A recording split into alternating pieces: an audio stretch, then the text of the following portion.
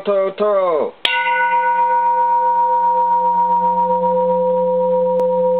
Okay. Japanese temple bell bronze Buddhist. A beauty. This is huge. Really great. And you also receive, it has a maker's mark here somewhere. Uh, right, maker's mark right there.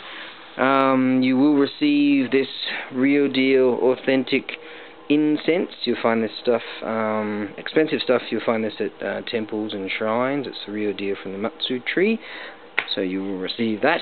I don't have a striker for this. Um, so I pulled out the, the trusty plastic hammer.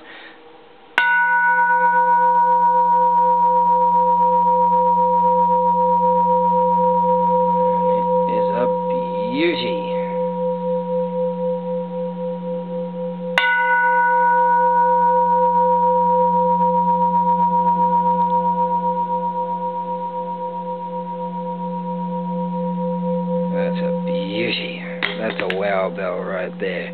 Uh, I do plan, um, I will be selling this scroll. Um, really, I'd like to keep it for myself. Actually, I'd like to keep it. I'm going to sell this cheap, and the only reason I'm going to do that is because I need to find a way to recoup the funds that I spent purchasing that.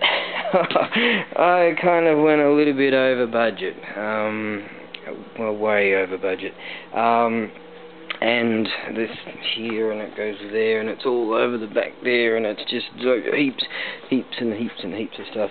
Um, so I'm going to have to um, find a way to recoup funds. I would generally sell this for much more, but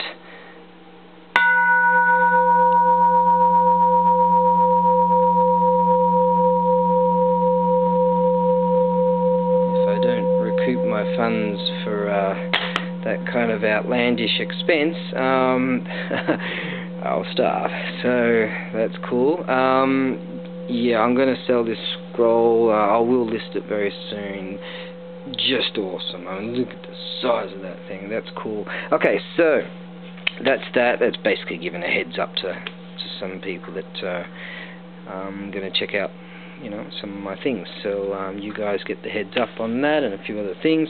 So, uh, let's see. Beautiful condition. Just absolutely beautiful condition. Very large.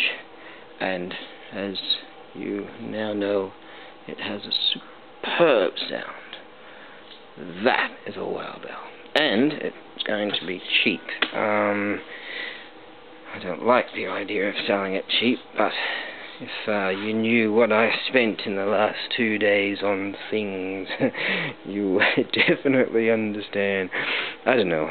That's ridiculous. It's just ridiculous. But sometimes you see beautiful things, you're just like, no, I, no, that's mine. so there you go. Um, okay. Okay.